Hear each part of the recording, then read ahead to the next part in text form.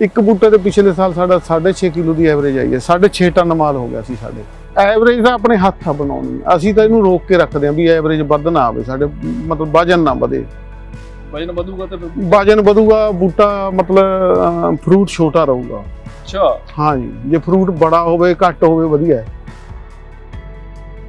ਪਿਛਲੇ ਸਾਲ ਅਸੀਂ ਮਤਲਬ ਨੈਟ ਜਿਹੜਾ ਸਾਨੂੰ ਬਚਿਆ ਸੀ 5.5 ਲੱਖ ਦੇ ਕਰੀਬ ਬਚ ਗਿਆ ਸੀ 5.5 ਲੱਖ ਦਾ ਸਿਰਫ 30000 ਰੁਪਏ ਲਾ ਕੇ ਸਾਨੂੰ ਬਚਦਾ ਜਿਹੜਾ 5.5 ਲੱਖ ਬਚਦਾ ਹਾਂ ਜੀ ਹਾਂ ਟਾਈਮ ਇਹਦੇ ਵਿੱਚ ਮੰਡੀ ਜਾਣਾ ਪੈਂਦਾ ਜੀ ਰੋਜ਼ ਮਤਲਬ 2 ਮਹੀਨੇ। ਹਾਂ। ਤੇ ਹੁਣ ਆਮ ਬੰਦੇ ਨੂੰ ਇਹ ਲੱਗਦਾ ਵੀ ਅਸੀਂ ਕਿਉਂ ਮੰਡੀ ਜਾਈਏ? ਸਾਨੂੰ ਇਹ ਲੱਗਦਾ ਸੀ ਵੀ 30000 ਰੁਪਏ ਦਾ ਇੱਕ ਦਿਨ 'ਚ ਮਾਲ ਹੋ ਜਾਂਦਾ ਹੈ। ਵੀ 30000 ਬਹੁਤ ਹੁੰਦਾ ਹੈ। ਇਹ ਇੱਕ ਬੰਦਾ ਹੋਵੇ ਇਹਦੇ ਤੇ ਮੈਨੂੰ ਲੱਗਦਾ ਵੀ 50 ਕਿੱਲਿਆਂ ਦੀ ਖੇਤੀ ਕਰ ਸਕਦਾ। ਹੈ। ਇੱਕ ਜੀ ਇਹਦੇ ਵਿੱਚ ਕਰਨਾ ਕੀ ਆ? ਡ੍ਰਿਪ ਨਾਲ ਪਾਣੀ ਛੱਡਣਾ। ਅਸੀਂ ਉੱਥੇ ਜਾਂਦੇ ਰਹਿੰਦੇ ਸੀ ਮਤਲਬ ਪੂਨੇ ਸਾਡਾ ਕੰਮ ਚੱਲਦਾ ਟਰਾਂਸਪੋਰਟ ਦਾ ਉੱਥੋਂ ਅਸੀਂ ਦੇਖਿਆ ਉਹਨਾਂ ਤੋਂ ਸਿੱਖਿਆ ਤੇ ਜਾਣ ਪਛਾਣ ਵੀ ਹੋ ਗਈ ਸਾਡੀ ਲੋਕਲ ਉਹਦੇ ਕਰਕੇ ਮਤਲਬ ਕੋਈ ਦਿੱਕਤ ਨਹੀਂ ਆਈ। ਵੀਰ ਜੀ ਖੇਤੀ ਤੋਂ ਬਿਨਾ ਬਾਕੀ ਸਾਰੇ ਕੰਮ ਔਖੇ ਨੇ ਉਹ ਅਸੀਂ ਸਾਰੇ ਕਰਦੇ ਹਾਂ। ਹਾਂਜੀ ਜ਼ਿਮੀਂਦਾਰ ਅਸੀਂ ਬਾਕੀ ਹੁਣ ਕੁਝ ਤਾਂ ਮਹਿਕਮੇ ਦੇ ਬੰਦੇ ਵੀ ਸੀ ਜਿਹੜੇ ਕਹਿੰਦੇ ਸੀ ਵੀ ਇਹ ਹੋਣਾ ਨਹੀਂ ਆਪਣੇ ਫਟ ਜੂਗਾ ਇਹ ਹੋ ਜੂਗਾ। ਅਨਾਰ ਤਾਂ ਜਿਹੜਾ ਛੋਟਾ ਰਹਿ ਗਿਆ ਉਹ 50 ਰੁਪਏ ਕਿਲੋ ਹੀ ਵਿਕਣਾ ਹੈ। ਤੇ ਉਹਦੇ ਵਿੱਚ ਜੇ ਕੁਆਲਿਟੀ ਦੇਣੀ ਹੈ ਤਾਂ ਆਪਾਂ ਨੂੰ ਕਟਿੰਗ ਕਾਂਟ ਛਾਂਟ ਕਰਨੀ ਪਊਗੀ। ਨਾ ਚੱਲਣ ਦਾ ਕਾਰਨ ਹੈ ਜੀ ਇੱਕ ਤਾਂ ਵੈਰਾਈਟੀ ਅੱਛਾ। ਠੀਕ ਨਾ ਹੋਣਾ।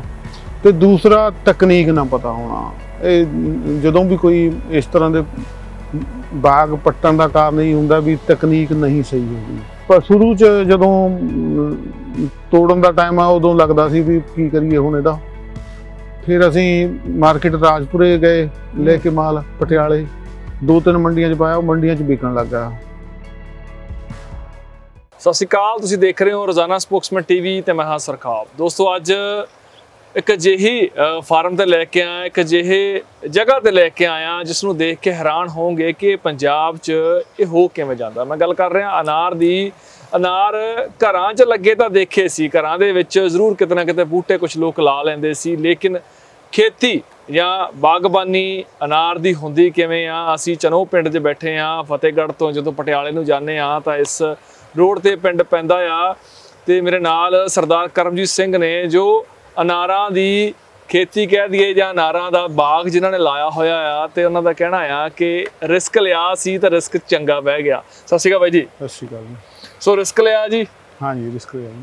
ਪਰ ਪੰਜਾਬ ਦੇ ਜ਼ਿਮੀਂਦਾਰ ਦੀ ਗੱਲ ਕਰੀਏ ਤਾਂ ਰਿਸਕ ਲੈਣ ਤੋਂ ਬਹੁਤ ਡਰਦਾ। ਹਾਂਜੀ ਰਿਸਕ ਲੈਣ ਤੋਂ ਤੇ ਕੁਝ ਬਦਲਣ ਨਾਲੋਂ ਨਾਲ ਝੋਨਾ ਤੇ ਕਣਕ ਵਾਲਾ ਕੰਮ ਚੱਲਦਾ? ਹਾਂਜੀ। ਝੋਨਾ ਕਣਕ ਚੱਲਦਾ ਜੀ। ਤੇ ਫਿਰ ਇਹ ਵੱਖਰੀ ਰਾਹ ਬਦਲੀ ਆ। ਇਹ ਅਨਾਰ ਹੀ ਕਿਉਂ? ਅਨਾਰ 4-5 ਸਾਲ ਪਹਿਲਾਂ ਹੋ ਗਏ ਜੀ ਅਸੀਂ ਸੋਚਿਆ ਵੀ ਕੁਝ ਬਦਲਿਆ ਜਾਵੇ। ਅੱਛਾ।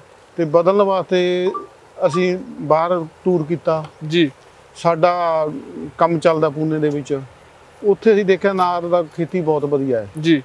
ਦੂਸਰਾ ਇਸ ਨੂੰ ਕਰਨਾ ਬੜਾ ਸੌਖਾ ਹੈ। ਅੰਗੂਰ ਵਗੈਰਾ ਬੜੀ ਦਿੱਕਤ ਦਾ ਕੰਮ ਆ। ਤਾਰਾਂ ਲਾਉਣੀਆਂ ਪੈਂਦੀਆਂ ਨੇ ਸਭ ਕੁਝ ਸਾਰਾ ਕੁਝ ਸੋਚ ਵਿਚਾਰ ਕੇ ਅਸੀਂ ਅਨਾਰ ਹੀ ਚੁਣਿਆ ਫਿਰ। ਪਰ ਅਨਾਰ ਪੰਜਾਬ 'ਚ ਕਦੇ ਸੁਣਿਆ ਨਹੀਂ ਸੀ। ਮੈਂ ਪਹਿਲਾਂ ਵੀ ਗੱਲ ਕੀਤੀ ਵੀ ਘਰਾਂ 'ਚ ਸ਼ਾਇਦ ਕਦੇ ਕਦਾਈ ਕੋਈ ਇੱਕ ਅੱਧਾ ਬੂਟਾ ਲੱਗਿਆ ਵੇਖਿਆ। ਪਰ ਉਹ ਵੀ ਇੰਨਾ ਕਾਮਯਾਬ ਜਾਂ ਨਹੀਂ ਹੁੰਦਾ ਸੀ ਜਦ ਮਾੜਾ ਵੀ ਮੰਨਿਆ ਜਾਂਦਾ ਸੀ। ਉਹ ਕਿਤੇ ਨਾ ਕਿਤੇ ਲੋਕ ਸ਼ਾਇਦ ਮਾੜਾ ਮੰਨਦੇ ਸੀ ਲੋਕ ਕਹਿੰਦੇ ਸੀ ਵੀ ਅਨਾਰ ਦਾ ਬੂਟਾ ਘਰ 'ਚ ਨਹੀਂ ਲਾਉਣਾ ਚਾਹੀਦਾ। ਉਹ ਆਪਦੇ ਕੋਈ ਮਿੱਥ ਹੋਣਗੇ ਉਹਨਾਂ ਦੇ। ਪਰ ਪੰਜਾਬ ਦੇ ਵਿੱਚ ਅਨਾਰ ਹੋ ਸਕਦਾ ਕਿਉਂਕਿ ਇਹ ਮੌਸਮ ਪੂਨੇ ਦਾ ਤੇ ਪੰਜਾਬ ਦਾ ਬਹੁਤ ਫ਼ਰਕ ਹੈ। ਇਹ ਮੌਸਮ ਦਾ ਟੈਂਪਰੇਚਰ ਦਾ ਥੋੜਾ ਬਹੁਤ ਫ਼ਰਕ ਹੋਊਗਾ ਪਰ ਆਪਣੀ ਤਾਂ ਜ਼ਿਆਦਾ ਫਰਟਾਈਲ ਆ ਜ਼ਮੀਨ। ਜੀ। ਉਹਨਾਂ ਨਾਲੋਂ ਜ਼ਮੀਨ ਆਪਣੀ ਜ਼ਿਆਦਾ ਫਰਟਾਈਲ ਆ। ਤੇ ਕੋਈ ਦਿੱਕਤ ਨਹੀਂ ਹੈ ਇਸ ਤਰ੍ਹਾਂ ਦੀ ਵੀ ਨਾ ਨਹੀਂ- ਹੋਵੇ ਕੋਈ ਵੀ ਫਸਲ ਨਾ ਹੋਵੇ। ਕਰਮਜੀਤ ਜੀ ਪੰਜਾਬ ਦੀ ਮਿੱਟੀ ਬਹੁਤ ਜ਼ਰਖੇਜ ਹੈ ਗੱਲ ਮੰਨਦੇ ਆ ਫਿਰ ਬਹੁਤ ਸਾਰੇ ਬੰਦਿਆਂ ਨੇ ਪੱਟੇ ਵੀ ਸੀ ਬਾਗ ਲਾ ਕੇ ਅਨਾਰ ਦੇ ਗੱਲਾਂ ਵੀ ਸਾਹਮਣੇ ਆਈਆਂ ਸੀ ਫੇਲ ਹੋਏ ਸੀਗੇ ਉਹ ਇਹੀ ਕਾਰਨ ਸੀ ਵੀ ਚੱਲੇ ਨਹੀਂ ਬਾਗ? ਨਹੀਂ ਉਹ ਨਾ ਚੱਲਣ ਦਾ ਕਾਰਨ ਹੈ ਜੀ ਇੱਕ ਤਾਂ ਵੈਰਾਈਟੀ ਅੱਛਾ। ਠੀਕ ਨਾ ਹੋਣਾ ਤੇ ਦੂਸਰਾ ਤਕਨੀਕ ਨਾ ਪਤਾ ਹੋਣਾ। ਇਹ ਜਦੋਂ ਵੀ ਕੋਈ ਇਸ ਤਰ੍ਹਾਂ ਦੇ ਬਾਗ ਪੱਟਣ ਦਾ ਕਾਰਨ ਹੀ ਹੁੰਦਾ ਵੀ ਤਕਨੀਕ ਨਹੀਂ ਸਹੀ ਹੁੰਦੀ ਕਿਉਂਕਿ ਇਹ ਤਾਂ ਲਾਉਣ ਤੋਂ ਲੈ ਕੇ ਤੋੜਨ ਤੱਕ ਤਕਨੀਕ ਵਰਤਣੀ ਹੀ ਪਊਗੀ। ਠੀਕ ਹੈ। ਤਾਂ ਹੀ ਆਪਾਂ ਕਾਮਯਾਬ ਹੋਵਾਂਗੇ। ਯਾਨੀ ਕਿ ਲਾਉਣ ਤੋਂ ਲੈ ਕੇ ਤੋੜਨ ਤੱਕ। ਤੋੜਨ ਤੱਕ। ਮਤਲਬ ਜਦੋਂ ਲਾਉਣਾ ਹੈ ਜੀ ਉਸ ਤੋਂ ਪਹਿਲਾਂ ਖੇਤ ਤਿਆਰ ਕਰਨਾ ਹੈ। ਹੂੰ। ਖੇਤ ਦੇ ਵਿੱਚ ਫਿਰ ਅਸੀਂ ਖੱਡੇ ਮਾਰੇ ਜੀ 3.5 ਫੁੱਟ ਦੇ। ਹੂੰ। ਉਹਨਾਂ ਦੇ ਵਿੱਚ ਖਾਦ ਭਰਿਆ। ਖਾਦ ਭਰਨ ਤੋਂ ਬਾਅਦ ਉਹ ਲਾਏ ਜੀ ਬੂਟੇ ਇਸ ਦੇ ਵਿੱਚ। ਫਿਰ ਇਹਦੀ ਪ੍ਰੂਨਿੰਗ ਬਹੁਤ ਜ਼ਰੂਰੀ ਆ। ਮੇਨ ਪ੍ਰੋਬਲਮ ਆਉਂਦੀ ਆ ਆਪਣੇ ਪ੍ਰੂਨਿੰਗ ਨਾ ਕਰਨ ਦਾ। ਹੂੰ। ਕਿਉਂਕਿ ਆਪਣੇ ਬੂਟੇ ਦੇ ਵਿੱਚ ਲਾਏ ਹੁੰਦੇ ਨੇ ਤਾਂ ਟਾਹਣੀ ਤੋੜਨੀ ਚੰਗੀ ਨਹੀਂ ਸਮਝੀ ਜਾਂਦੀ ਵੀ ਤੋੜਦੇ ਨਹੀਂ। ਤੋੜ ਦੇ ਜਦੋਂ ਕਿ ਕਟਿੰਗ ਕਰਨੀ ਪੈਂਦੀ ਆ ਪ੍ਰੂਨਿੰਗ ਜ਼ਰੂਰੀ ਆ। ਪ੍ਰੂਨਿੰਗ ਕਰਾਂਗੇ ਤਾਂ ਫੇਰ ਹੀ ਸਹੀ ਫਲ ਹਾਂ ਆਊਗਾ ਫਿਰ ਫਲ ਸਹੀ ਆਊਗਾ ਤੇ ਬਿਮਾਰੀ ਘੱਟ ਲੱਗੂਗੀ। ਹੂੰ। ਅੱਛਾ ਭਾਈ ਤੁਸੀਂ ਕਿਹਾ 3.5 ਫੁੱਟ ਡੂੰਗਾ ਟੋਇਆ ਪੱਟਿਆ ਉਹਦਾ ਖਾਸ ਕਾਰਨ ਕੋਈ ਪਾਣੀ ਪੂਣੀ ਦੀ ਦਿੱਕਤ ਕਰਕੇ ਆ? ਪਾਣੀ ਆਪਣੇ ਜਿਹੜੀ ਜ਼ਮੀਨ ਆ ਜੀ ਜੀਰੀ ਦੀ ਜ਼ਮੀਨ ਹੈ ਉਹਦੇ ਵਿੱਚ ਲੇਅਰ ਜੰਮੀ ਵੀ ਹੈ ਇੱਕ। ਹੂੰ। ਤੁਸੀਂ ਜਦੋਂ ਪੜਦੇ ਸੀ ਨਾ ਅਸੀਂ ਦੇਖਿਆ ਮਤਲਬ 1.5 ਫੁੱਟ ਦੇ ਉੱਤੇ ਨਾ ਬਹੁਤ ਜ਼ਿਆਦਾ ਮਤਲਬ 1 ਫੁੱਟ ਦੀ ਲੇਅਰ ਹੈ ਜਿਹੜੀ ਮੁਸ਼ਕਲ ਟੁੱਟਦੀ ਆ। ਫਿਰ ਪਾਣੀ ਨੀਚੇ ਨਹੀਂ ਜਾਂਦਾ ਲੀਚ ਨਹੀਂ ਹੁੰਦਾ ਪਾਣੀ। ਜੋ ਪਾਣੀ ਫਾਲਤੂ ਉਹ ਲੀਚ ਹੋਣਾ ਜ਼ਰੂਰੀ ਹੈ ਜਦੋਂ ਜ਼ਮੀਨ ਕੱਦੂ ਕਰਕੇ ਝੋਨੇ ਕਰ ਕੱਦੂ ਕਰਦੇ ਆ ਤੇ ਉਹਦੇ ਕਰਕੇ ਹਾਂ ਦਿੱਕਤ ਜੀ ਆਉਂਦੀ ਕੱਦੂ ਕਰਕੇ ਜ਼ਮੀਨ ਦੇ ਹਾਂ। ਵਿੱਚ ਆਪਣੇ ਪਰਤ ਜਮੀ ਵੀ ਆ। ਤੇ ਉਹ ਪਰਤ ਕੱਢਣੀ ਹੀ ਪਊਗੀ ਪਰਤ ਕੱਢ ਕੇ ਅਸੀਂ ਚਲਾਇਆ। ਤੇ ਇਹਦੇ ਵਿੱਚ ਜ਼ਿਆਦਾ ਪ੍ਰੋਬਲਮ ਕੀ ਆਉਂਦੀ ਆ? ਨਾਰ ਪੱਟਣ ਦਾ ਜਿਹੜਾ ਮਤਲਬ ਮੇਨ ਕਾਰਨ ਆ ਉਹ ਫੜ ਜਾਂਦਾ ਹੈ। ਜੇ ਪਾਣੀ ਜ਼ਿਆਦਾ ਮਤਲਬ ਤਕਨੀਕ ਹਾਂ। ਤਕਨੀਕ ਮਤਲਬ ਪਾਣੀ ਦਾ ਕੀ ਆ? ਪਾਣੀ ਇਹਦੇ ਜੜਾਂ ਵਿੱਚ ਖੜਾ ਹੋ ਜਾਊਗਾ ਜੇ ਆਪਾਂ ਨਹੀਂ ਤੋੜਿਆ ਵਾ ਕੜਾ। ਪਾਣੀ ਖੜਾ ਹੋ ਗਿਆ ਤੇ ਮਤਲਬ ਉਹ ਡਿਸਆਰਡਰ ਹੋ ਜਾਂਦਾ ਹੈ ਮਤਲਬ ਫਟ ਜਾਂਦਾ ਨਾਲ। ਫੜ ਜਾਂਦਾ ਪਾਣੀ ਦਾ ਸਹੀ ਤਰੀਕੇ ਨਾਲ ਮੈਚਰ ਨਹੀਂ ਹੁੰਦਾ। ਅੱਛਾ ਕਿਸਮ ਦੀ ਗੱਲ ਕਰਦੇ ਸੀ ਤੁਸੀਂ? ਕਿਹੜੀ ਕਿਸਮ ਆ ਫਿਰ ਇੱਥੇ ਜਿਹੜੀ ਚੱਲਦੀ ਆ? ਕਿਸਮ ਹੈ ਜੀ ਪਗੂਆ ਰੈੱਡ ਪਗੂਆ ਰੈੱਡ ਹਾਂਜੀ। ਅੱਛਾ ਇਹ ਆਪਣੇ ਪੰਜਾਬ 'ਚ ਵਧੀਆ ਚੱਲਦੀ ਹੈ। ਨਹੀਂ ਸਾਰੀ ਹੀ ਚੱਲਦੀ ਹੈ ਜੀ। ਅਸੀਂ ਪਹਿਲਾਂ। ਉੱਥੇ ਦੇਖਿਆ ਜੀ ਮਤਲਬ ਫਿਰ ਉਥੋਂ ਬੂਟੇ ਲਿਆ ਕੇ ਦੋ ਲਾਏ। ਹੂੰ। ਇੱਥੋਂ ਲੋਕਲ ਵੀ ਤਿੰਨ ਚਾਰ ਨਰਸਰੀਆਂ ਤੋਂ ਲਿਆ ਕੇ ਲਾਏ ਫਿਰ ਉਹ ਸਾਨੂੰ ਠੀਕ ਲੱਗਿਆ ਫਿਰ ਅਸੀਂ ਉੱਥੋਂ ਹੀ ਮੰਗਵਾਈ। ਅੱਛਾ। ਹੁਣ ਕਿੰਨੇ ਏਕੜ ਚ ਹੈ ਇਹ 2 ਏਕੜ ਦੇ ਵਿੱਚ ਲੱਗਿਆ ਜੀ ਆਪਣੇ ਫਾਰਮ। ਮਤਲਬ ਅਨਾਰ 1000 ਬੂਟਾ ਹੈ। 1000 ਬੂਟਾ ਤੇ ਕਿੰਨੇ ਬਾਈ ਕਿੰਨੇ? 10 ਬਾਈ 10 ਹੋ ਗਿਆ? ਹਾਂ ਜੀ 10 ਬਾਈ 10 ਤੇ। 10 ਬਾਈ 10 ਦਾ। ਅੱਛਾ ਤਕਨੀਕ ਫਿਰ ਇਹ ਸਾਰੀ ਸਿੱਖੀ ਪਹਿਲਾਂ ਕਿਵੇਂ ਕਿਵੇਂ ਲਾਉਣਾ? ਅਸੀਂ ਉੱਥੇ ਜਾਂਦੇ ਰਹਿੰਦੇ ਸੀ। ਮਤਲਬ ਪੂਨੇ ਸਾਡਾ ਕੰਮ ਚੱਲਦਾ ਟਰਾਂਸਪੋਰਟ ਦਾ। ਉੱਥੋਂ ਅਸੀਂ ਦੇਖਿਆ ਉਹਨਾਂ ਤੋਂ ਸਿੱਖਿਆ ਤੇ ਜਾਣ ਪਹਿਚਾਣ ਵੀ ਹੋ ਗਈ ਸਾਡੀ ਲੋਕਲ ਉਹਦੇ ਕਰਕੇ ਮਤਲਬ ਕੋਈ ਦਿੱਕਤ ਨਹੀਂ ਆਈ। ਅੱਛਾ ਬਾਈ ਰਿਸਕ ਦੀ ਗੱਲ ਤਾਂ ਪਹਿਲਾਂ ਹੀ ਕਰ ਲਈ ਪਰ ਰਿਸਕ ਲਿਆ। ਕਦੇ ਇਹ ਨਹੀਂ ਲੱਗਿਆ ਪੰਗਾ ਹੀ ਲੈ ਲਿਆ। ਕਿਉਂਕਿ ਔਖਾ ਤੁਸੀਂ ਕਹਿੰਦੇ ਪ੍ਰੋਨਿੰਗ ਕਰਨੀ ਤਕਨੀਕ ਸਿੱਖਣੀ ਤਕਨੀਕ ਨਾਲ ਸਾਰਾ ਕੁਝ ਹੁੰਦਾ। ਬਹੁਤ ਔਖਾ ਫਿਰ ਤਕਨੀਕ ਵਾਲਾ ਕੰਮ ਤਾਂ। ਵੀਰ ਜੀ ਖੇਤੀ ਤੋਂ ਬਿਨਾ ਬਾਕੀ ਸਾਰੇ ਕੰਮ ਔਖੇ ਨੇ। ਉਹ ਅਸੀਂ ਸਾਰੇ ਕਰਦੇ ਹਾਂ। ਅੱਛਾ। ਖੇਤੀ ਇੱਕ ਸੌਖਾ ਕੰਮ ਆ। ਤੁਹਾਨੂੰ ਇਹ ਲੱਗਦਾ। ਤੇ ਸਾਡਾ ਟਰਾਂਸਪੋਰਟ ਦਾ ਕੰਮ ਆ, ਅਮ, 24 ਘੰਟੇ ਚੱਲਦਾ ਹੈ। ਹੂੰ। ਤੇ ਉਹਦੇ ਮੁਕਾਬਲੇ ਤਾਂ ਕੁਝ ਵੀ ਨਹੀਂ ਹੈਗਾ। ਅੱਛਾ। ਹਾਂਜੀ। ਫਿਰ ਵੀ ਕਿੰਨਾ ਟਾਈਮ ਦਿੰਦੇ ਹੋ? ਕਿੰਨਾ ਟਾਈਮ ਖਾਂਦਾ ਇਹ? ਇਹ ਤਾਂ ਹੁਣ ਤਾਂ ਟਾਈਮ ਬਹੁਤ ਘੱਟ ਖਾਂਦਾ। ਸ਼ੁਰੂ ਸ਼ੁਰੂ ਦੇ ਵਿੱਚ ਹੈ ਮਤਲਬ ਟਾਈਮ ਨਹੀਂ ਬਹੁਤਾ ਲੈਂਦਾ। ਇਹ ਸੀ ਪਹਿਲਾਂ ਜਦੋਂ ਅਸੀਂ ਲਾਇਆ ਸਾਨੂੰ ਅਨਾਰ ਦੇ ਕੇ ਸਾਰੀ ਮਖੌਲ ਕਰਦੇ ਸੀ। ਮੇਨ ਤਾਂ ਮਖੌਲ ਤੋਂ ਬਚਣਾ ਹੁੰਦਾ ਹੈ। ਸੰਗ ਸ਼ਰਮ ਤੋਂ। ਨਹੀਂ ਮਖੌਲ ਕਰਦੇ ਸੀ ਵੀ ਇਹ ਤੁਸੀਂ ਕਿੱਥੇ ਲਾ ਲਿਆ ਹੋਣਾ ਨਹੀਂ। ਚਲੋ ਅਸੀਂ ਹੱਠ ਕਰਕੇ ਲਾ ਲਿਆ ਤੇ ਹੁਣ ਠੀਕ ਆ ਗਿਆ ਹੁਣ ਕੋਈ ਕੰਮ ਨਹੀਂ ਬਹੁਤਾ ਹੈ। ਅੱਛਾ ਇਹ ਜਿਹੜੇ ਮਖੌਲ ਕਰਦੇ ਸੀ ਕਿ ਮੈਨੂੰ ਗੱਲ ਦੱਸਿਓ। ਇਹ ਕਿਸਾਨ ਹੀ ਨੇ ਜ਼ਿਮੀਂਦਾਰ ਹੀ ਸੀ ਜਿਹੜੇ ਮਖੌਲ ਕਰਦੇ ਸੀ ਵੀ ਕਹਿੰਦੇ ਸੀ ਇਹ ਹੋਣਾ ਨਹੀਂ। ਹਾਂਜੀ ਜ਼ਿਮੀਂਦਾਰ ਸੀ ਬਾਕੀ ਹੁਣ ਕੁਝ ਤਾਂ ਮਹਿਕਮੇ ਦੇ ਬੰਦੇ ਵੀ ਸੀ। ਜਿਹੜੇ ਕਹਿੰਦੇ ਸੀ ਵੀ ਇਹ ਹੋਣਾ ਨਹੀਂ ਆਪਣੇ ਫਟ ਜੂਗਾ ਇਹ ਹੋ ਜੂਗਾ ਉਸੇ ਕਰਕੇ ਅਸੀਂ ਜ਼ਿਆਦਾ ਹੀ ਮਤਲਬ ਤਕਨੀਕ ਵਰਤਣੀ ਪਈ ਸਾਨੂੰ। ਅੱਛਾ ਫਟਿਆ ਫਿਰ ਫਟਿਆ ਨਹੀਂ ਸਾਡੇ ਇੱਕ ਵੀ ਨਹੀਂ ਫਟਿਆ। ਇੱਕ ਵੀ ਨਹੀਂ ਫਟਿਆ। ਅੱਛਾ ਇਹ ਵੱਡਾ ਸਵਾਲ ਬਾਈ ਕਰਮਜੀਤ ਜੀ ਖੜਾ ਕਰਦਾ ਆ। ਮਹਿਕਮੇ ਦੇ ਬੰਦਿਆਂ ਦਾ ਜਿਵੇਂ ਤੁਸੀਂ ਕਹਿੰਦੇ ਹੋ ਜਾਂ ਕਿਸਾਨਾਂ ਤੇ ਕਿ ਉਹਨਾਂ ਨੂੰ ਆਪਦੀ ਮਿੱਟੀ ਦੀ ਪਛਾਣ ਹੀ ਹੈ ਨਹੀਂ ਹੈ ਹਾਂ ਜੀ ਮਿੱਟੀ। ਨਹੀਂ ਸਾਡਾ ਇਹ ਵੀ ਨਹੀਂ ਅਸੀਂ ਕਹਿੰਦੇ ਵੀ ਸਾਰਿਆਂ ਨੇ ਸਾਡੇ ਫਤਿਹਗੜ੍ਹ ਸਾਹਿਬ ਮਹਿਕਮੇ ਉਹਨਾਂ ਨੇ ਬਹੁਤ ਮਦਦ ਕੀਤੀ। ਹੂੰ। ਇਹ ਰეკਮੈਂਡ ਨਹੀਂ ਹੈ। ਮੇਨ ਤਾਂ ਰეკਮੈਂਡ ਨਾ ਹੋਣਾ ਹੈ ਕਾਰਨ ਆਰਐਨਡੀ ਨਹੀਂ ਹੈਗੀ ਨਾ। ਹਾਂ ਜੀ ਉਹਨਾਂ ਨੇ ਆਪਣਾ ਮਤਲਬ ਆਊਟ ਆਫ ਵੇ ਜਾ ਕੇ ਸਾਡੀ ਮਦਦ ਕੀਤੀ ਬਹੁਤ ਕੀਤੀ ਹੁਣ ਵੀ ਆਉਂਦੇ ਨੇ। ਲਾਕਡਾਊਨ ਦੇ ਵਿੱਚ ਵੀ ਮੈਡਮ ਚੱਕਰ ਮਾਰਦੀ ਰਹੀ। ਅੱਛਾ। ਹਾਂ ਜੀ। ਤੇ ਹੁਣ ਫਿਰ ਰეკਮੈਂਡ ਕਰਦੇ ਕਿਸੇ ਨੂੰ ਕਿ ਨਹੀਂ ਕਰਦੇ ਹਾਂ ਜੀ? ਹੁਣ ਰეკਮੈਂਡੇਸ਼ਨ ਵਾਸਤੇ ਉਹਨਾਂ ਨੇ ਭੇਜਿਆ ਹੈ। ਇੱਥੋਂ ਹੀ ਸਾਡੇ ਨਾ ਬਣਾ ਕੇ ਉਹਨਾਂ ਨੇ ਪ੍ਰੋਜੈਕਟ ਰਿਪੋਰਟ ਇੱਥੇ ਭੇਜੀ ਹੈ। ਕਿੰਨੇ ਸਾਲ ਹੋ ਗਏ ਫਿਰ ਤੁਹਾਨੂੰ ਬਣੇ ਸਾਨੂੰ 3 ਸਾਲ ਹੋ ਗਏ ਜੀ ਦੂਸਰਾ ਫਰੂਟ ਆ। ਦੂਜਾ ਫਰੂਟ ਹਾਂ ਜੀ ਜਾਂ ਫਿਰ ਦੂਜੇ ਸਾਲ ਬਾਅਦ ਪਹਿਲਾ ਫਰੂਟ ਆਉਂਦਾ ਦੂਜੇ ਸਾਲ ਹੀ ਆਉਂਦਾ। ਹਾਂ ਜੀ ਦੂ- ਦੂਜੇ ਸਾਲ ਮਤਲਬ ਇੱਕ ਸਾਲ ਜਦੋਂ ਲਾਉਂਦੇ ਆ ਤੇ ਵਿੱਚ ਛੱਡ ਕੇ ਇੱਕ ਸਾਲ ਦੂਸਰੇ ਸਾਲ। ਅੱਛਾ ਫਰੂਟ ਲੈਣ ਦਾ ਸਹੀ ਤਰੀਕਾ ਕੀ ਹੈ? ਕਿਉਂਕਿ ਫੁੱਲ ਤਾਂ ਪਹਿਲੇ ਸਾਲ ਵੀ ਆ ਜਾਂਦਾ ਨਾ। ਨਹੀਂ ਉਹ ਅਸੀਂ ਤੋੜ ਦਿੰਦੇ ਜੀ ਫੁੱਲ। ਫੁੱਲ ਤੋੜ- ਤੋੜਨਾ। ਪੈਂਦਾ। ਕਿਉਂਕਿ ਜਦੋਂ ਇਹ ਮਜ਼ਬੂਤ ਨਹੀਂ ਹੋਊਗਾ ਕੁਆਲਿਟੀ ਨਹੀਂ ਬਣਨੀ। ਅਨਾਰ ਤਾਂ ਜਿਹੜਾ ਛੋਟਾ ਰਹਿ ਗਿਆ ਉਹ 50 ਰੁਪਏ ਕਿਲੋ ਹੀ ਵਿਕਣਾ ਹੈ।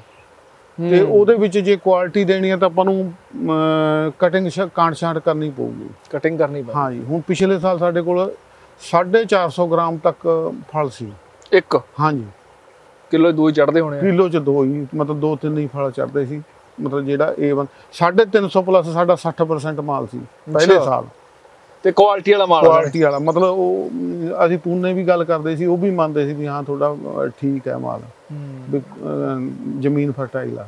ਜ਼ਮੀਨ ਚਲ ਪਾਣੀ ਪੂਣੀ ਕਿੰਨਾ ਇਹਨੂੰ ਦੇਣਾ ਪੈਂਦਾ? ਪਾਣੀ ਕੋਈ ਖਾਸ ਨਹੀਂ ਡ੍ਰਿਪ ਸਿਸਟਮ ਲਾਇਆ ਭਾਈ ਅਸੀਂ ਦਿਖਾ ਦਿਓ ਜੀ। ਜੀ ਜੀ ਮੈਂ ਕੈਮਰਾਮੈਨ ਨੂੰ ਗੁਜ਼ਾਰਿਸ਼ ਕਰਦਾ ਡ੍ਰਿਪ ਸਿਸਟਮ ਜ਼ਰੂਰ ਦਿਖਾਇਆ ਜਾਵੇ। ਕਿਉਂਕਿ ਇਹ ਚੀਜ਼ਾਂ ਬਹੁਤ ਲੋੜੀਂਦੀਆਂ ਨੇ। ਡ੍ਰਿਪ ਜ਼ਰੂਰੀ ਹੈ ਜੀ ਇਹਦੇ ਵਿੱਚ। ਜੀ। ਤੇ ਆਪਣਾ ਪਾਣੀ ਹੌਲੀ ਹੌਲੀ ਚੱਲਦਾ ਰਹਿੰਦਾ ਹਾਂਜੀ ਹਾਂਜੀ ਡ੍ਰਿਪ ਚੱਲਦਾ ਜੀ। ਤੇ 2 ਮਹੀਨੇ ਨੂੰ ਪਾਣੀ ਆਪਣੇ ਖੁੱਲਾ ਦੇਣਾ ਪੈਂਦਾ ਦੋ ਮਹੀਨੇ ਕਿਹੜੇ ਕਿਹੜੇ ਅਪ੍ਰੈਲ ਮਈ। ਅਪ੍ਰੈਲ ਮਈ। ਹਾਂਜੀ ਜੂਨ ਜੁਲਾਈ ਬਾਕੀ ਸਾਰੇ ਡਿਪ ਤੇ ਬਾਕੀ ਸਾਰੇ ਡ੍ਰਿਪ ਦੇ ਜੀ। ਅੱਛਾ ਵੀਰੇ ਬੂਟਾ ਟਾਈਮ ਕਿਹੜਾ ਸਹੀ ਹੁੰਦਾ ਲਾਉਣ ਦਾ? ਬੂਟਾ ਬਰਸਾਤ ਤੋਂ ਬਾਅਦ। ਬਰਸਾਤਾਂ ਤੋਂ ਹਾਂ ਬਾਅਦ। ਜਾਂ ਫਰਵਰੀ ਦੇ ਵਿੱਚ। ਫਰਵਰੀ ਵਿੱਚ ਲਾ ਜ਼ਿਆਦਾ ਜ਼ਿਆਦਾ ਬੈਟਰ ਫਰਵਰੀ ਦੇ ਵਿੱਚ ਆ ਓਕੇ।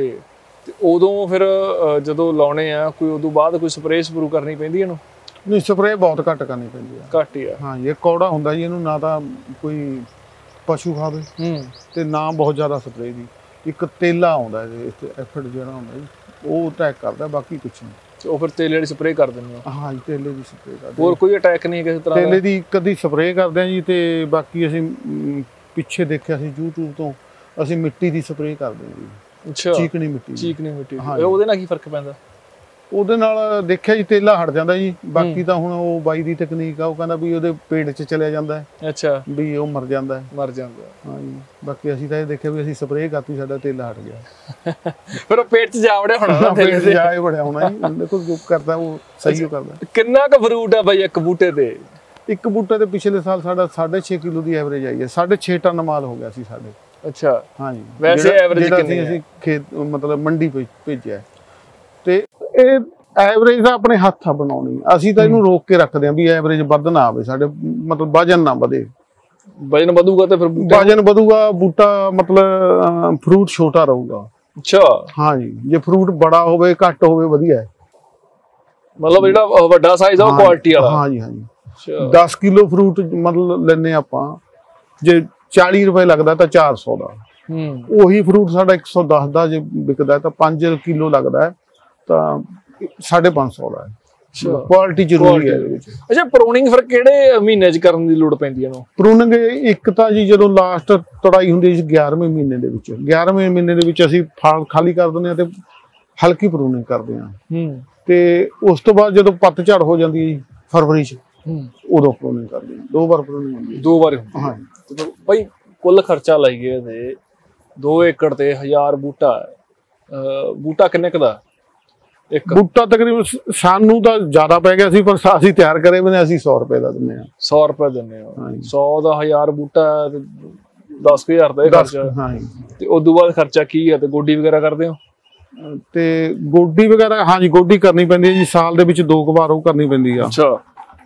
ਤੇ 5000 ਰੁਪਏ ਇੱਕ ਗੋਡੀ ਦਾ ਸਾਡਾ ਉਹ ਖਰਚਾ ਆ ਜਾਂਦਾ ਤੇ ਬ੍ਰੇਕ ਆ ਗਈ। ਦਸ ਕੁ 10000 ਰੁਪਏ ਉਹ ਹੋ ਗਿਆ। ਉਸ ਤੋਂ ਬਾਅਦ ਉਹ ਖਰਚਾ? ਕੁਝ ਸਪਰੇ ਦੇਸੀ ਖਾਦ ਮਤਲਬ 10000 ਦਾ ਉਹ ਲਾ ਲਓ ਬਹੁਤ ਜ਼ਿਆਦਾ ਖਰਚਾ ਨਹੀਂ ਹੈ। 30 35000 ਰੁਪਏ ਖਰਚਾ ਸਾਲ ਦਾ? ਸਾਲ ਦਾ 20 25 30000 ਰੁਪਏ ਖਰਚਾ। 30000 ਹਾਂਜੀ। ਸਾਲ ਦਾ ਬਾਈ ਦਾ ਕਿੰਨਾ ਫਿਰ? ਸਾਲ ਦਾ ਵੀਰ ਜੀ ਪਿਛਲੇ ਸਾਲ ਅਸੀਂ ਮਤਲਬ ਨੈਟ ਜਿਹੜਾ ਸਾਨੂੰ ਬਚਿਆ ਸੀ 5.5 ਲੱਖ ਦੇ ਕਰੀਬ ਬਚ ਗਿਆ ਸੀ। 5.5 ਲੱਖ ਦਾ ਸਿਰਫ 30000 ਰੁਪਏ ਲਾ ਕੇ ਸਾਨੂੰ ਬਚਦਾ ਜਿਹੜਾ 5.5 ਲੱਖ ਬਚਦਾ ਹਾਂਜੀ ਹਾਂਜੀ। ਬਾਕੀ ਜਿਹੜੀ ਨਹੀਂ ਪਿਛਲੇ ਸਾਲ ਸਾਡੇ ਜ਼ਿਆਦਾ ਲੱਗੇ ਨਾ ਪਿਛਲੇ ਸਾਲ ਬੂਟਾ ਵੀ ਲਿਆਂਦਾ ਸੀ। ਹਾਂ। ਤੇ 3 ਸਾਲ ਦਾ ਉਹਦੇ ਵਿੱਚ ਖਰਚਾ ਵੀ ਸੀ। ਚਲੋ ਉਹ ਤਾਂ ਮੰਨੋ ਮਤਲਬ ਬੇਸਿਕ ਹੋ ਗਿਆ। ਉਹ ਤਾਂ ਆਪਾਂ ਮੰਨ ਨਹੀਂ ਸਕਦੇ ਮਤਲਬ 30000 ਰੁਪਏ ਜੀਰੀ ਕਣਕ ਨਾਲੋਂ ਘੱਟ ਖਰਚਾ ਆਉਂਦਾ। ਹੈ ਅੱਛਾ। ਖਾਦ ਤਾਂ ਸਪਰੇਆਂ ਬਹੁਤ ਹੈ ਨਾ ਜੀਰੀ ਦੇ ਤਾਂ ਫਿਰ। ਹਾਂ ਯੂਰੀਆ ਤਾਂ ਅਸੀਂ ਇਹਦੇ ਵਿੱਚ ਕਦੇ ਪਾਇਆ ਹੀ ਨਹੀਂ। ਹੂੰ। ਤੇ ਇਹ ਆਰਗੇਨਿਕ ਹੁੰਦਾ? ਇਹ ਇਹ ਕਿਹਾ ਕਹਿ ਜਾਂਦਾ ਵੀ ਨਹੀਂ ਆਰਗੈਨਿਕ ਅਸੀਂ ਕਹਿੰਦੇ ਨਹੀਂ ਪਰ ਕਹਿਣ ਨੂੰ ਕਹਿ ਦਈਏ ਆਰਗੈਨਿਕ ਨਹੀਂ ਕਾਰਨ ਕੀ ਹੈ? ਆਰਗੇਨਿਕ ਕਿਉਂ ਮੰਨਿਆ ਜਾਂਦਾ ਅਨਾਰ? ਆਰਗੈਨਿਕ ਇਸ ਲਈ ਵੀ ਇਹਦੇ ਵਿੱਚ ਖਾਦ ਤਾਂ ਪੈਂਦੀ ਨਹੀਂ ਬਹੁਤ ਜ਼ਿਆਦਾ। ਅੱਛਾ। ਤੇ ਸਪਰੇਅ ਤੇਲੇ ਦੀ ਕਰਨੀ ਪੈਂਦੀ ਆ। ਹੋਰ ਕੋਈ ਸਪਰੇ ਨਹੀਂ ਕਰਨੀ ਜ਼ਿਆਦਾ ਨਹੀਂ ਹੁੰਦੀਆਂ ਜ਼ਿਆਦਾ ਨਹੀਂ ਸਪਰੇਅ ਹੁੰਦੀ ਜਾਂ ਫਿਰ ਇੱਕ ਸੁੰਡੀ ਦੀ ਹੁੰਦੀ ਆ। ਹੂੰ। ਬਾਕੀ ਤਾਂ ਕੋਈ ਸਪਰੇਅ ਹੁੰਦੀ ਨਹੀਂ। ਅੱਛਾ। ਤੇ ਫਿਰ ਇਹਨੂੰ ਆਰਗੈਨਿਕ ਹੀ ਮੰਨ ਸਕਦੇ ਜੀ ਆਰਗੈਨਿਕ ਮਾਸ ਚਲੋ 90% ਆਰਗੈਨਿਕ ਕਹਿ ਦਿੰਦੇ 90% organic ਕਹਿ ਸਕਦੇ। ਅੱਛਾ ਮਾਰਕੀਟਿੰਗ ਦਾ ਫਿਰ ਇਹਦੀ ਸੌਖੀ ਹੋਊਗੀ। ਮਾਰਕੀਟਿੰਗ ਦਾ ਕੋਈ ਬਹੁਤੀ ਔਖੀ ਨਹੀਂ ਹੋਣੀ ਇੱਥੇ। ਨਹੀਂ ਮਾਰਕੀਟਿੰਗ ਸਾਨੂੰ ਕੋਈ ਸ਼ੁਰੂ ਚ ਜਦੋਂ ਤੋੜਨ ਦਾ ਟਾਈਮ ਆ ਉਦੋਂ ਲੱਗਦਾ ਸੀ ਵੀ ਕੀ ਕਰੀਏ ਹੁਣ ਇਹਦਾ। ਫਿਰ ਅਸੀਂ ਮਾਰਕੀਟ ਰਾਜਪੁਰੇ ਗਏ ਲੈ ਕੇ ਮਾਲ ਪਟਿਆਲੇ। ਦੋ ਤਿੰਨ ਮੰਡੀਆਂ ਚ ਪਾਇਆ ਉਹ ਮੰਡੀਆਂ ਚ ਵਿਕਣ ਲੱਗਾ ਕੀ ਰੇਟ ਵੇਖਦਾ ਬਈ ਇਹ? ਇਹ ਜਿਹੜਾ 350 ਪਲੱਸ ਆ ਜੀ ਉਹ ਚਲੇ ਜਾਂਦਾ ਜੀ 90 95 ਮੰਡੀ ਦੇ ਵਿੱਚ। ਅੱਛਾ। ਹਾਂ ਜੀ ਪਿਛਲੇ ਸਾਲ ਜੋ ਸਾਡੀ ਮਤਲਬ ਔਸਤ ਆਈ ਹੈ 90 95 ਦੀ। ਹੂੰ। ਤੇ ਜਿਹੜਾ ਉਸ ਤੋਂ ਹੇਠ ਹੈ 350 ਤੋਂ 150 ਮਤਲਬ ਛੋਟੇ ਤੋਂ ਛੋਟੇ ਤੱਕ ਵੀ ਉਹ 95 ਤੋਂ ਲੈ ਕੇ ਲਾਸਟ ਸਾਡਾ 60 ਰੁਪਏ ਤੱਕ ਵਿਕੇ ਜੀ। ਜਿਹੜਾ ਛੋਟਾ ਹੈ ਛੋਟਾ ਬਿਲਕੁਲ। ਕੁਆਲਿਟੀ ਵਾਲਾ 90 95 ਜਾਂਦਾ। ਹਾਂ ਜੀ ਹਾਂ ਜੀ quality। ਉਹ ਬਹੁਤ ਵਧੀਆ ਰੇਟ ਆ। ਹਾਂ ਜੀ ਹਾਂ ਜੀ। ਅੱਛਾ ਫੇਰ ਜੇ ਖਰਚਾ ਝੋਨੇ ਤੋਂ ਘੱਟ ਹੈ ਤੇ ਤੁਸੀਂ ਕਹਿ ਰਹੇ ਹੋ ਕਿ ਫਰੂਟ ਵੀ ਚੰਗਾ ਪੈਸਾ ਵੀ ਚੰਗਾ ਇਹਨਾਂ ਦਾ ਝੋਨੇ 'ਚ ਪੈਸਾ ਵੈਸੇ ਨਹੀਂ ਬਣਦਾ ਜਿੰਨਾ 5.5 ਲੱਖ ਤੁਸੀਂ ਬਚਾ ਲਿਆ ਬਚਦਾ। ਲੋਕ ਕਿਉਂ ਨਹੀਂ ਕਰਦੇ? ਬਈ ਕਾਰਨ ਕੀ ਹੈ? ਕਾਰਨ ਤਾਂ ਇਹ ਵੀ ਮਾਨਸਿਕਤਾ। ਸੋਚ।